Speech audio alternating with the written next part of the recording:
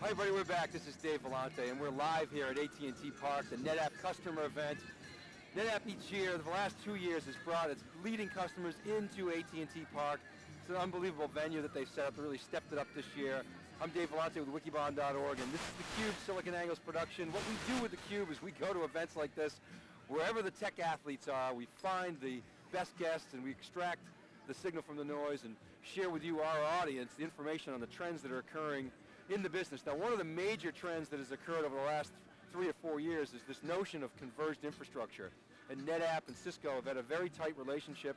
NetApp seized the day, they saw the opportunity to participate in that converged infrastructure space. Cisco, of course, aggressively trying to change the whole model of compute, bringing compute and networking together, and of course, needed the storage piece as well. So I'm here with Jim, Jim McHugh, uh, who's with Cisco, a CUBE alum, and also Adam Fore with NetApp. Gentlemen, welcome to the Cube. Good to be here. Yeah, thanks for having me, Dave. So it's a great venue. Um, you guys are longtime partners. Why don't we kind of start there? Um, Jim, why don't you talk a little bit about the, the partnership, the objectives that you guys set yeah, forth several yeah. years ago now? Yeah, so if you go back three years or so ago, I believe it is, you know, we set out with an objective of how we're going to do a solution that's going to address multi-tenancy. And out of that grew a product that became known as FlexPod. Um, so we've been actually doing incredible success. We have now over 2,800 customers, 2,800, yeah. 2,800 exactly. customers, partner base growing, everything's just really going well from that standpoint.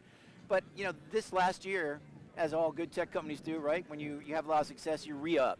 So we decided, you know, we actually needed to reaffirm our relationship, and we said we're going to set out for another three-year journey, and actually really drive the solutions that our customers are looking for. So when you say you re-up, you, so you, you committed publicly to doing a sort of a, a, a three-year engagement? What is it? So what does that entail? You guys both putting resources in. Talk about uh, uh, uh, the, the resources that you guys put together. Maybe Adam, you could take it from the NetApp side, and then you know Jim can come through on the. Yeah, so we we um, basically got together and actually planned out a roadmap. And in that roadmap, uh, it includes kind of what we're doing on the engineering side. It includes what we're doing go-to-market, and uh, includes just how we're going to work together uh, really at a st strategic level. And so what we've done is uh, defined a, a, a, strategy and where we're going to take FlexPod over the next three years. Uh, new markets we're going to go into, uh, different environments that it's going to work in, and then now we're moving toward kind of executing on that. Yeah, so uh, let's talk about some of those environments. When you start a project like this, you know, Jim, you guys were sort of the new kid on the block yep. in the compute business, and so um, I'm sure you've learned a lot. And, and actually, what are, the, what are some of the things that surprised you about getting into that business, and what are some of the you know, pleasant or unpleasant surprises that you've, you've been dealing with? Well, I mean, I don't know if surprised. I, I would almost go that we surprised a lot of people in the market. And actually, I have to admit, when I when Cisco got into the server business, I wasn't at Cisco. And I was one of those guys on the outside saying, really? They're, they're getting into this business? But clearly, they caught the market at a transition where compute and networking was going to come together first, right? There's a lot of value in that. And I think that was pretty revolutionary. But it didn't take long for us to say, look, networking makes a lot of sense, but you got to have storage, right? You got to bring those together. And that's when you start having these questions of integrated infrastructure, converged infrastructure, and really that's become the game changer. So when I think uh, to the evolution of NetApp that I've been following now for several years, you guys evolved again from an you know, infrastructure player and then started to get really into the application integration space. And I noticed that with FlexPod and, and, you know specifically in Cisco generally, you guys focusing more on applications. Absolutely. So Adam, I wonder if you could talk a little bit about that thrust you know, from a solution standpoint, right. what the uptake looks like, and we can maybe get into some of the major ones. Right, so with FlexPod, the kind of design point is to really build out a, um, a converged infrastructure, an entire um, kind of virtualized infrastructure. And that infrastructure is designed to support uh, a multi-tenant environment with multiple applications. And so when you look at what we're doing with the applications, we're validating uh, these different kind of enterprise applications on this virtualized infrastructure.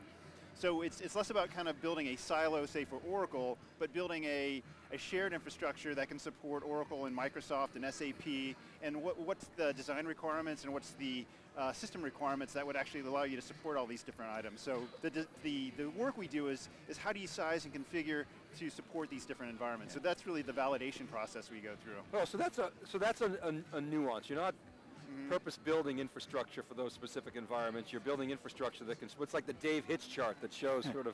yeah, yeah, right? exactly. and then maybe there's some applications that, that keep running on, on, on, on bare metal that, that might not be virtualized, but, but so So you're basically saying to the customer, we've tested this configuration, Right. it works, Yep. we can show you best practice documentation. Now, like who does what in that whole thing? You guys get together, you got joint labs, how does that all work? Well, so I think there's a couple things that go in there. I mean, so when we decide to set off on what we call Cisco validated designs, and we do those with NetApp. Mm-hmm. So we start on our, our components, the compute networking. We bring in the NetApp part of the storage and add it in from there. But I think the thing that we do next, and it's you know part of the flex of FlexPod, it's multiple platforms. So we're looking at if it's an application that'll run better on Hyper-V, vSphere, it could run better on you know some of the open source stuff that's coming along and OpenStack, etc. Those are things we're looking at. How do we first best address the application through that infrastructure software? Then we test that all the way down, right down through every component and element of the infrastructure. So whether compute, network, and storage, and have that all built in. So three years ago, we started, uh, in 2010 was our first cube at, at VMworld. We really weren't talking about Hyper-V. You know, it was sort of VMware, had a clear lead, still has a lead in a lot, a lot of situations, you know, toward the customers. But at the time, you know, Hyper-V was sort of, you know, Microsoft version one, right? You knew it was Yeah. going to get better. Right. And it has. Mm-hmm. So can you talk a little bit about what you're seeing in sort of other, whether it's hypervisors, other frameworks like OpenStack, how does that fit in to your guys' strategy? Maybe Adam, you could start, and Jim. Yeah, I mean, the, the platform is designed to support all of those, right? So we actually validate VMware, always the latest versions of VMware, so we're trying to stay in sync with uh, the latest releases. Microsoft, uh, latest versions of Hyper-V. Uh, we'll also validate System Center on top of that as well, so it's got the, uh, the cloud orchestration or the automation uh, uh, included. Citrix, XenServer, along with XenDesktop. And it's also validated as a bare metal configuration. So you look at some of our validated designs, it'll actually be a mix of, say, SAP on, um, on virtualized VMware infrastructure and then the database part of it on a bare metal. And so these are all, and they can all run simultaneously. So the whole point is that this is an open environment that you can mix and match uh, these different technologies. And that extends to the management layer. So OpenStack, uh, CloudStack, all those uh, technologies are really uh, built to, or not, or FlexPod is built to really support those environments. Yeah, Yeah. so I wonder if, um, you know, you see a lot of demand today Yeah. for, for bare metal, despite the, sort of, you hear talk about, you know, we heard Carl up there today saying that it's an imperative to get 100% Yeah. virtualized. But, you know, most customers are moving in that direction, but there's still demand for bare metal. right? Well, even for some of the newer things coming out, SAP HANA runs better on bare metal than it does. It doesn't run very well in a virtualized state right now. But it's a big trend. People are doing it. We're doing a lot of business together and mm-hmm. going out and talking to customers about it. And then there's just some applications that, yeah, that workload belongs on bare metal. Yeah, okay. So, so what are you seeing in terms of, of workload? I'll just take it from the sort of workload out now. We talked about the infrastructure and its ability to essentially support. It was pretty much workload agnostic is essentially what you're saying, but you've done some validation. Where are you seeing uptake in the market? I mean, obviously Microsoft, Oracle, you know, VMware, not really a, a workload, but it's sort of a Yeah. platform. Right. But Microsoft and Oracle in particular, you're seeing a lot of uptake. How about, you know, big data? Talk a little bit about the applications that you guys Yeah. are seeing. Yeah, we, we see all those. So um, primarily a lot of the enter- enterprise applications, so Oracle, SAP, all the Microsoft enterprise applications is probably the majority. We also see quite a bit of uh, virtual desktops. Uh, virtual desktops uh, are appealing for this type of platform because people tend to want to deploy a, uh, a uh, kind of a brand new uh, infrastructure deployment. And sizing for virtual desktops can be very complicated. So if you've got an infrastructure that's been sized specifically for that environment, and it's uh, sized across the entire stack, it's kind of an easy decision. You know that's going to work for the en- environment that you're looking for. And then your, your last point around big data, that's, that's one of the new things that we just introduced. Now big data actually, um, especially analytics in Hadoop, actually has some different types of architectural requirements. There's um, design around uh, compute nodes with uh, direct attached storage. So there's a, there's a FlexPod platform that we've built specifically for that we call FlexPod Select. And uh, today we validated uh, Cloudera Hadoop and Hortonworks Hadoop on that architecture. And it's really designed to provide kind of an enterprise class um, availability and the delivery of uh, Hadoop environments.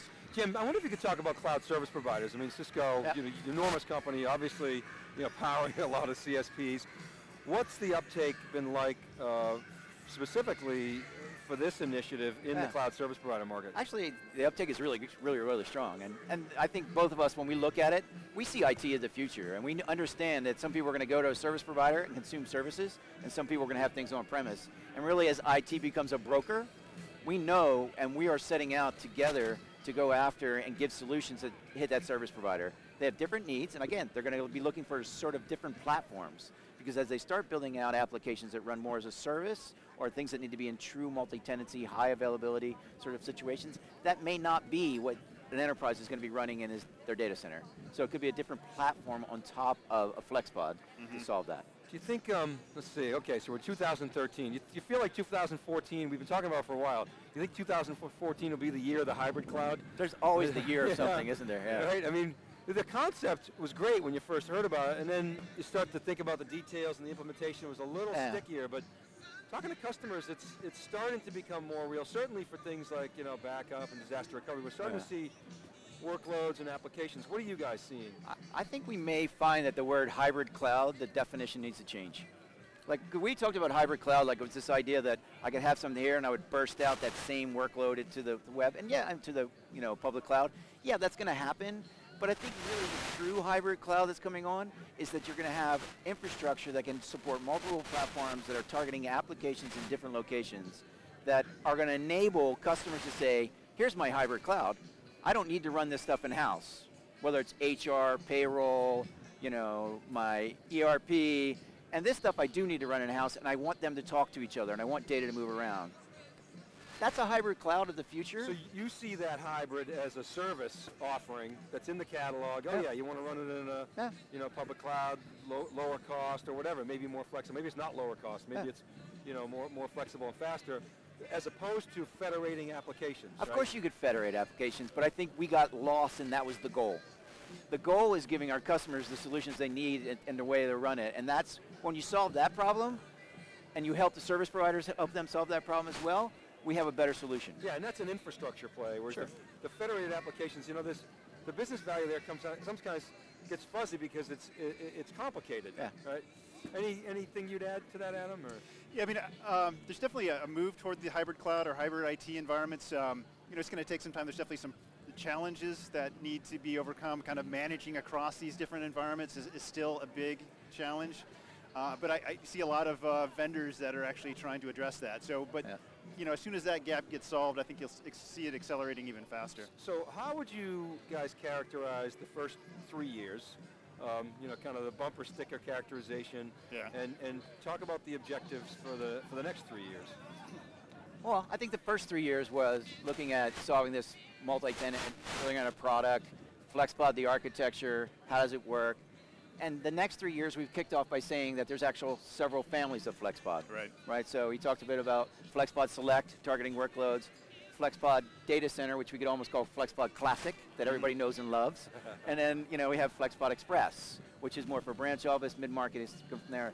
So I think the next three years is preparing for giving customers, no pun intended, the flexibility to roll out infrastructure that's going to help them grow their business. Yeah, really- And, and it's not just about being agile, because everybody talks about being agile. It's purposefully agile. What are you going to do with that agility? Right. So um, anything you'd add to that in terms of, of, of objectives, you know, going forward? Yeah, it's, it's really extending that FlexPod uh, model out to more areas, right? Okay. Supporting more workloads, extending it into the cloud, extending into small offices, multi-data center environments. segmenting. Yeah, Flex exactly. Cloud, you know, supersized flex, flex Yeah, pod, bigger, you smaller, know, uh, all flex of them. light, and, and all through the middle. All right. Yeah. Jim, Adam, thanks very much for coming on the Cube. Really appreciate it. You know, enjoy the rest of the night, and uh, All right. Great. we'll talk to you soon. All right, keep it right there, everybody. We're back with our next guest, John Furrier, and I will be here all night. We'll be going till uh, almost nine o'clock Pacific time. So keep it right there. This is the Cube. We're right back.